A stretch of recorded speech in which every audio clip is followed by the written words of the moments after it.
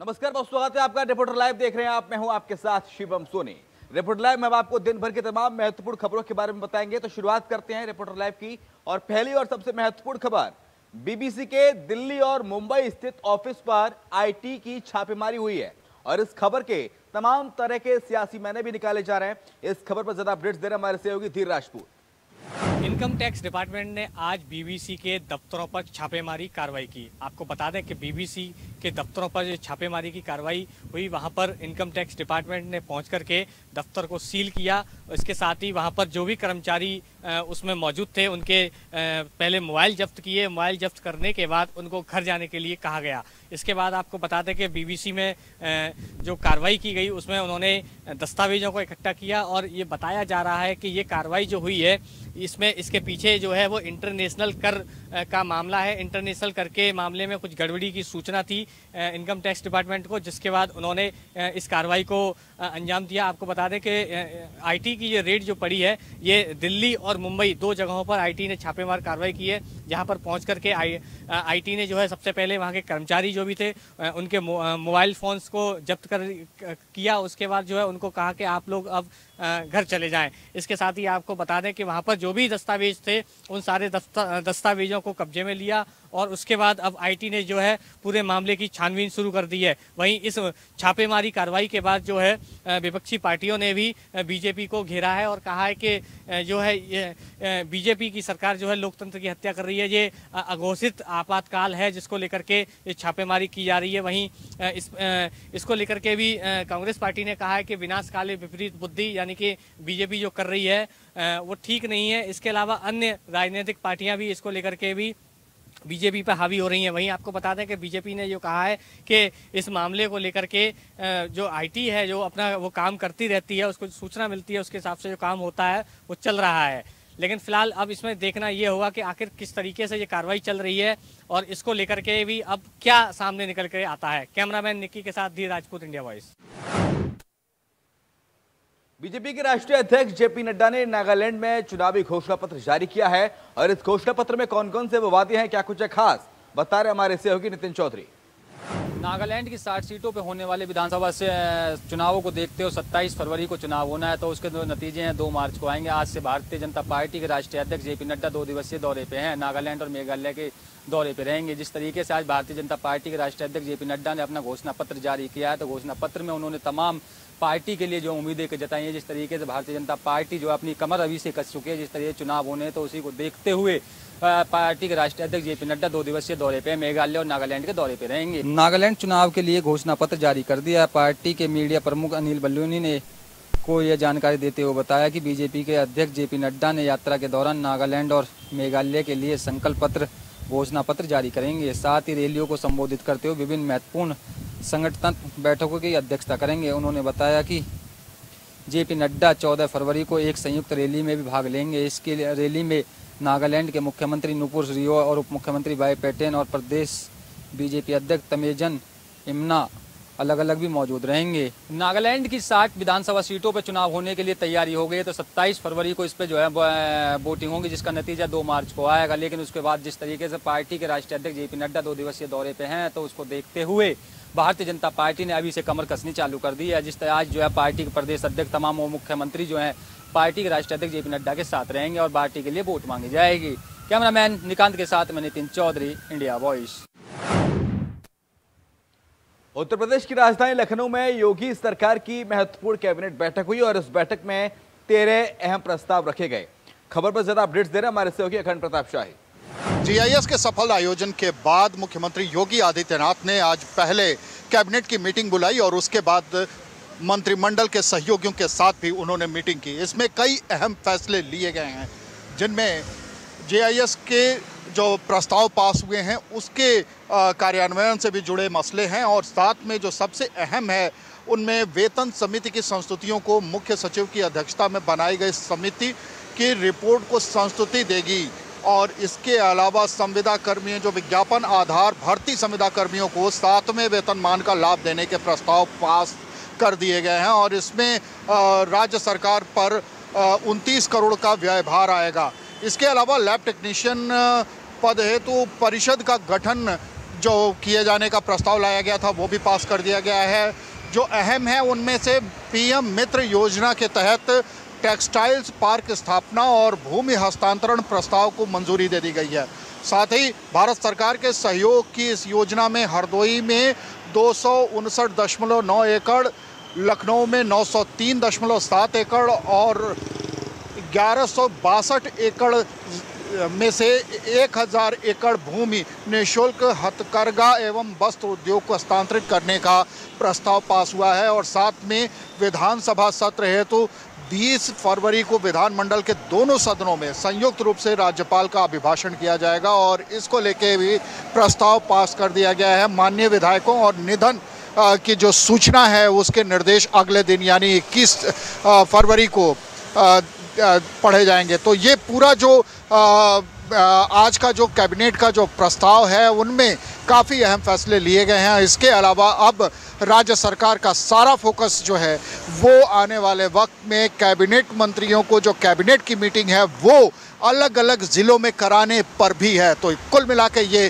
कि योगी सरकार अब सिर्फ़ लखनऊ की चौहद्दी में कैबिनेट मीटिंग नहीं करना चाहेगी बल्कि ज़मीन पर उतरते हुए अलग अलग ज़िलों में कैबिनेट प्रस्ताव कैबिनेट मीटिंग करती हुई भी नज़र आने वाली है।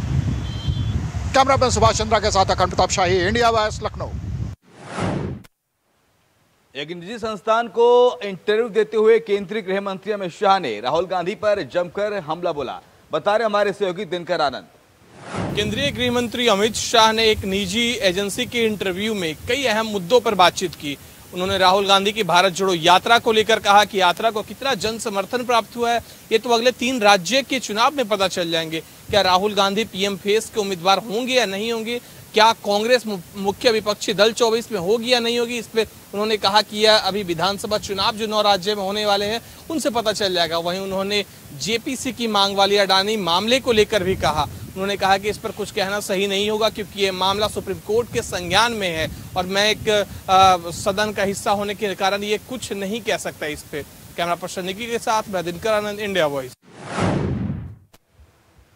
केंद्र सरकार और राहुल गांधी के बीच आरोप प्रत्यारोप का दौर लगातार जारी है और एक नया मामला प्रयागराज से सामने आया। खबर में क्या है? प्रयागराज एंगल बता रहे हमारे से होगी सांसद राहुल गांधी के दौरे को रद्द होने के बाद, प्रयागराज के बाद में जैसे ही राजनीतिक हलचल काफ़ी तेज देखने को मिल रही है। जिस तरीके से चार्टेड प्लान को नहीं उतरने की इजाज़त दी गई थी तो उसको देखते हुए कांग्रेस के कार्यकर्ताओं में काफ़ी नाराज़गी देखने को मिल रही है। कांग्रेस के कार्यकर्ताओं ने आरोप लगाया गया जिस तरीके से भारतीय जनता पार्टी अपनी तानाशाही सरकार को रवैया को दिखाने में लगी हुई है तो उसी को देखते हुए राजनीतिक हलचल काफ़ी तेज नज़र आ रही है। कांग्रेस कार्यकर्ताओं का आरोप है कि राहुल गांधी के चार्टेड प्लान को वाराणसी में उतरने की इजाज़त नहीं दी गई थी। राहुल गांधी ने मंगलवार को उत्तर प्रदेश स्थित प्रयागराज के दौरे पर आने वाले थे, लेकिन इससे पहले ही सोमवार को उनका दौरा रद्द किया कर दिया गया था।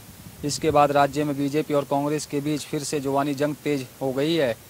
कांग्रेस का आरोप है कि राहुल गांधी के चार्टर्ड प्लान को उतरने की इजाज़त नहीं दी गई थी। प्लान को वाराणसी में उतरने की जो इजाज़त मांगी गई थी तो वाराणसी प्लान नहीं उतरने का से प्रयागराज आने का कार्यक्रम निश्चित कर दिया गया था। जिस तरीके से राहुल, सांसद राहुल गांधी के चार्टेड प्लान को उतरने की इजाज़त नहीं दी गई थी तो उसको देखते हुए कांग्रेस के कार्यकर्ताओं में काफ़ी नाराज़गी देखने को मिल रही थी, लेकिन कांग्रेस के कार्यकर्ताओं ने आरोप लगाया कि भारतीय जनता पार्टी अपना तानाशाही की जो रवैया है, वो दिखाने में कामयाब हो रही है। कैमरामैन सैंकी के साथ मैं नितिन चौधरी इंडिया वॉइस केंद्रीय गृह मंत्री अमित शाह ने हरियाणा पुलिस की उसकी असाधारण सेवा के लिए राष्ट्रपति चिन्ह भेंट किया है। बता रही हमारे सहयोगी पूजा झा। केंद्रीय गृह मंत्री अमित शाह आज हरियाणा के करनाल पहुँचे, जहाँ पर मुख्यमंत्री मनोहर लाल खट्टर और हरियाणा के गृह मंत्री अनिल विज ने उनका स्वागत किया। यहाँ पर उन्होंने मधुबन में एक परेड की सलामी ली और हरियाणा पुलिस को गृह मंत्री ने राष्ट्रपति निशान सौंपा। गृह मंत्री ने कहा कि ये उनके लिए भी गौरव का पल है। हरियाणा पुलिस को धाकड़ पुलिस की संज्ञा दी जाती है और उन्होंने यहाँ पर जो वीर पुलिस के शहीद थे, उनकी शहादत को नमन किया। केंद्रीय मंत्री अमित शाह ने कहा, हरियाणा में उनतीस साइबर थाने और सैकड़ों साइबर डेस्क स्थापित हैं। ये किसी भी राज्य के लिए गौरवशाली बात है। उन्होंने कहा, सीसी, टीएनएस और आईओसीजेएस दोनों विषय में पूरे देश में हरियाणा पुलिस को सम्मान मिल चुका है। तो हरियाणा पुलिस को केंद्रीय गृह मंत्री अमित शाह ने आज राष्ट्रपति निशान सौंपा है, जिसके लिए वो करनाल पहुँचे थे। कैमरामैन निकी के साथ मैं पूजा झा। चौदह फरवरी को लोग भले ही वैलेंटाइन डे के रूप में सेलिब्रेट करते हो, लेकिन चौदह फरवरी का दिन उस भयंकर घटना को याद दिलाता है, जिसको सुनते ही रूह काँप जाती है। पुलवामा की आतंकी घटना, जिस दिन पुलवामा में आतंकियों ने अटैक किया था। खबर पर ज़्यादा अपडेट्स दे रहे हैं हमारे सहयोगी दिनकर आनंद। 14 फरवरी को यूँ तो लोग वैलेंटाइन डे मनाते हैं, लेकिन चार साल पहले, यानी कि 2019 14 फरवरी के बाद से लोग इसे ब्लैक डे, यानी काला दिवस के रूप में मनाते हैं। बता दें कि 2019 में 14 फरवरी को जम्मू कश्मीर के पुलवामा में 40 जवानों की शहादत हुई थी। पाकिस्तान समर्थित जैसे मोहम्मद आतंकी संगठन ने भारत के सीआरपीएफ के काफिले पर बम निरोधक दस्ता भेजकर यहाँ पे हमला किया और इसमें 40 सीआरपीएफ के जवानों की शहादत हुई। वहीं आज की बरसी पर प्रधानमंत्री नरेंद्र मोदी ने ट्वीट कर श्रद्धांजलि अर्पित की। उन्होंने कहा कि हम उनके सर्वोच्च बलिदान का स्वागत करते हैं। वहीं उन्होंने यह भी कहा कि उनके बलिदान से हम प्रेरित होकर देश के विकास की भावना की ओर बढ़ते हैं। वहीं एक और कांग्रेस नेता दिग्विजय सिंह ने आज पुलवामा की बरसी पे आज सवाल खड़े किए। उन्होंने कहा कि इंटेलिजेंस फेलुअर की वजह से यह हादसा हुआ था। कैमरा पर्सन निकी के साथ मैं दिनकर आनंद इंडिया वॉइस कल सोमवार को कर्नाटक के बेंगलुरु में एरो इंडिया शो का आगाज़ हुआ था और ऐसा क्या हुआ कि एयरक्राफ्ट से हनुमान जी के पोस्टर को गायब कर दिया गया। बता रही हमारी सहयोगी पूजा झा। सोमवार को बेंगलुरु में एरो इंडिया 2023 का उद्घाटन हुआ। एशिया के सबसे बड़े एयर शो में देश में निर्मित एयरक्राफ्ट और अन्य डिफेंस के मॉडल पेश किए गए। इस एयर शो में एक एयरक्राफ्ट ने सबका ध्यान अपनी तरफ़ खींचा। इस एयरक्राफ्ट की खास बात ये थी कि इसको विकसित किया था एचएएल यानी हिंदुस्तान एरोनॉटिक्स लिमिटेड ने, और इस एयरक्राफ्ट की टेल पर बजरंग बली यानी हनुमान जी की तस्वीर बनी थी। जिसके चलते इस एयरक्राफ्ट ने सबका ध्यान अपनी तरफ़ खींचा। वहीं आज अपडेट मिल रही है कि एच ने एयरक्राफ्ट से बजरंगबली की तस्वीर को हटा लिया था। सोशल मीडिया पर इसका काफ़ी विरोध देखने को मिला था। जिसके बाद एच ने एयरक्राफ्ट से बजरंगबली की तस्वीर को हटा लिया है। सोमवार को एयर शो का उद्घाटन प्रधानमंत्री नरेंद्र मोदी ने किया। इस एयर शो का जो मकसद है, वो टेक्नोलॉजी के साथ साथ देश में जो निर्मित एयरक्राफ्ट हैं, यानी कि मेक इन इंडिया मिशन को प्रमोट करना है। कैमरामैन शंकी के साथ मैं पूजा झा। महँगाई और बढ़ती बेरोजगारी को लेकर झारखंड की हेमंत सोरेन सरकार ने केंद्र सरकार पर जमकर हमला बोला है। खबर पर ज़्यादा अपडेट्स दे रहे हमारे सहयोगी राकेश कुमार। झारखंड के मुख्यमंत्री हेमंत सोरेन ने एक बार फिर से केंद्र सरकार और बीजेपी को घेरा है।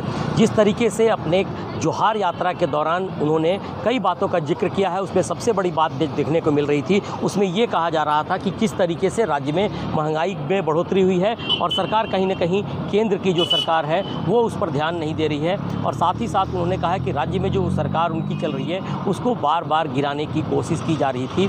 इसमें केंद्र सरकार और बीजेपी दोनों के लोग कहीं ना कहीं शामिल होने की बात उन्होंने कही है।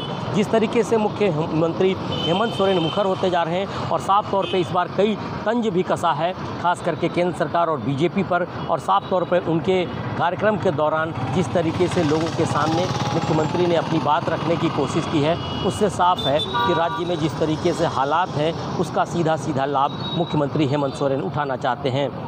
राज्य सरकार की बात की जाए तो निश्चित तौर पे जोहार यात्रा के दौरान मुख्यमंत्री, जहाँ सरकार की तमाम योजनाओं को लेकर जनता के बीच पहुँचने की कोशिश कर रहे हैं, वहीं कई ऐसे मुद्दे हैं जिसको लेकर कहा जा सकता है कि राजनीतिक लाभ भी लेने की कोशिश की जा रही है। ऐसे में मुख्यमंत्री की तरफ़ से इस तरह के बयानों के कई मायने भी लगाए जा रहे हैं और हो सकता है कि आने वाले समय में जिस तरीके से 2024 के चुनाव होने हैं, उसमें लोकसभा के भी चुनाव होंगे और राज्य में विधानसभा के भी चुनाव होने हैं। तब कहीं ना कहीं इस तरह की बातें जब सामने आ रही हैं तो कहीं इसका सीधे सीधे मायने लगाया जा रहा है कि मुख्यमंत्री हेमंत सोरेन जहाँ अपनी सरकार को बेहतर करने की कोशिश में लगे हैं, वहीं जनता के सामने जाकर केंद्र सरकार और ख़ास करके बीजेपी की उन तमाम नाकामियों को भी गिनाने की कोशिश कर रहे हैं। जिसको लेकर जनता सवाल भी कर सकती है। अब देखना है कि राज्य के मुख्यमंत्री के इस तरह के बयान का कितना लाभ आने वाले समय में दिखाई पड़ता है, क्योंकि राज्य के हालात जिस तरीके के हैं, उसमें जनता तमाम चीज़ों को बारीकी से समझने की कोशिश भी कर रही है। सहयोगी पिंटू के साथ राकेश कुमार, इंडिया वॉइस रांची। उधर यूपी के कानपुर देहात से एक ऐसा मामला सामने आया है, जिसे, से इंसानियत शर्मसार हो गई है। खबर पर ज़्यादा अपडेट्स दे रहे हमारे सहयोगी राम दीक्षित अवैध कब्जा हटाने गई टीम पर झोपड़ी में आग लगा देने और आग से माँ बेटी की ज़िंदा जलकर मौत हो जाने का गंभीर आरोप है। कानपुर देहात के रूरा थाना क्षेत्र के मड़ौली गाँव में राजस्व की एक संयुक्त टीम बनाएगी, जिसमें लेखपाल, तहसीलदार, एसडीएम और पुलिस के अधिकारी संलिप्त होकर एक गाँव मड़ौली पहुँचे, जहाँ पर गरीब, शिवम दीक्षित के जो कब्जा, अवैध कब्जा बना हुआ था, उस कब्जे को ढाने पहुँचे थे। गाँव में पहुँचते ही टीम ने झोपड़ी को गिरा दिया। परिजनों का वही आरोप है कि एसडीएम और गाँव के कुछ दबंगों ने मिलकर झोपड़ी में आग लगा दी। आग लगने के कारण माँ और बहन अंदर झुलस गई। झुलसने से उनकी मौत हो गई। मामला जब संज्ञान में आया तो कानपुर नगर के मंडा, मंडलायुक्त राजशेखर और एडीजी आलोक सिंह मौके पर पहुँच गए और मौके पर परिजनों को संवेदनाएँ व्यक्त की। परिजनों से बात कर डेड बॉडी को सुरक्षित स्थान दिया और वही परिजनों ने उनसे, उनके आश्वासन पर संतुष्ट न होते हुए गंभीर आरोप लगाए और मुख्यमंत्री की आने की मांग कही है। वहीं प्रशासन से परिवार लगातार नाखुश देखा जा रहा है और लगातार कई मांगों को लेकर अड़ा है। कानपुर देहात से Ram Dikshit, India voice. UP के अमरोहा के जंगल में पेड़ पर एक लाश टंगी होने से हड़कम मच गया। खबर पर ज़्यादा जानकारी दे रहे हमारे सहयोगी मोहम्मद इमरान।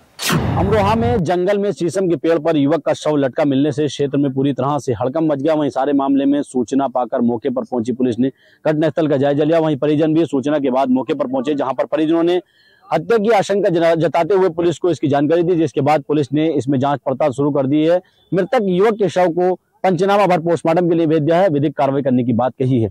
पूरा मामला अमरोहा जनपद के हसनपुर कोतवाली क्षेत्र के गाँव सिरसा गुजर का है, जहाँ पर रुखालू निवासी राजेंद्र का शव गाँव के ही पेड़ पर जंगल में लटका मिला, जहाँ पर शीशम के पेड़ पर उसका शव लटका मिलने से क्षेत्र में हड़कम मच गया। वहीं स्थानीय लोगों को जब शव देखा तो उन्होंने इसकी सूचना पुलिस को दी, जिसके बाद पुलिस ने मौका मुआयना करते हुए वहाँ पर परिजनों को इसकी जानकारी दी, जिसके बाद पुलिस ने मृतक के शव का पंचनामा भर के पोस्टमार्टम के लिए भेज दिया है। वहीं परिजनों की तहरीर पर मुकदमा दर्ज कर विधिक कार्रवाई करने की बात की है। परिजनों का कहना है कि उन्होंने हत्या की आशंका जताई है और कुछ चुनिंदा नाम भी पुलिस को उन्होंने बताया जिसके बाद पुलिस सारे पहलुओं पर जाँच कर रही है। जाँच के बाद अग्रिम कार्रवाई करने की बात कही है। अमरोहा से इंडिया वॉइस के लिए मोहम्मद इमरान की रिपोर्ट। उधर यूपी के रायबरेली में दो बाइकों में आमने सामने भिड़ंत हो गई। भिड़ंत इतनी जोरदार थी कि मौके पर हड़कम बच गया। खबर की पड़ताल की हमारे सहयोगी राजू तिवारी ने। ज़िले में तेज रफ्तार का कहर लगातार देखने को मिल रहा है।